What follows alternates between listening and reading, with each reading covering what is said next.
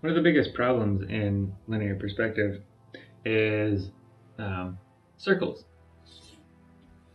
So normally what we would do is take our shape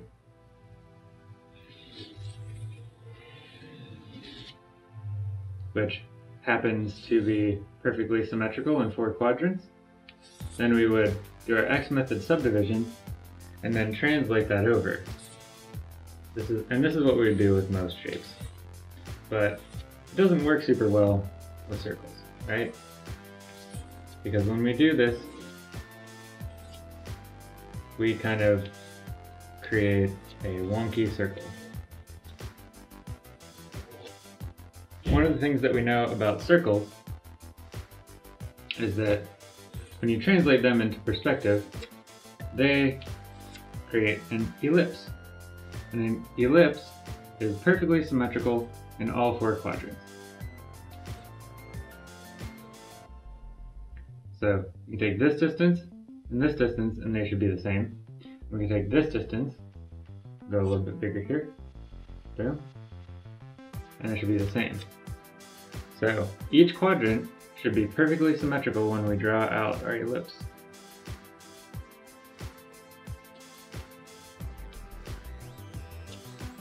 And this is very technical, right?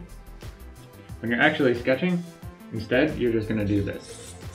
You're gonna estimate your ellipse, and then you're gonna come back and refine it, and train your eye, train your intuition. Because the truth is, it doesn't have to be perfect for it to be an effective drawing.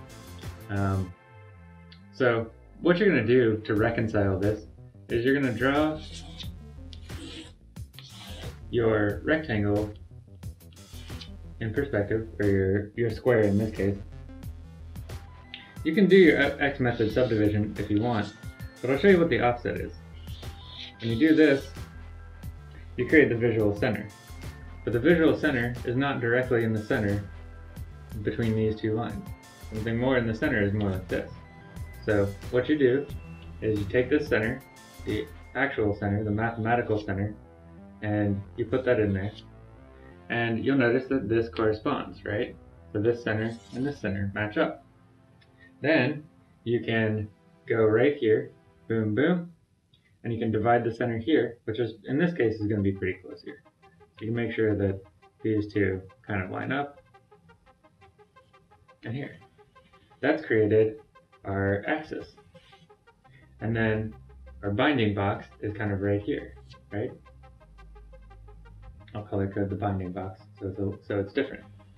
So our actual binding box, mathematical binding box is right here.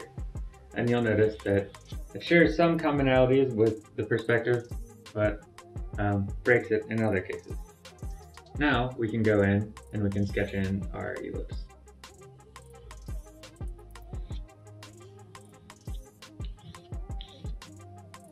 and then we can come back with a different color and we can re-emphasize our perspectival box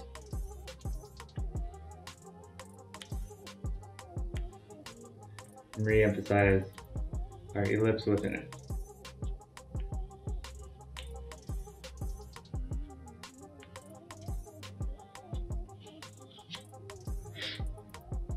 So now that looks pretty reasonable.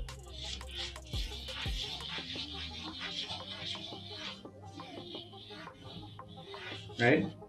It works. And that's the kind of uh, neat thing about this method is that you can you can kind of reconcile by doing both.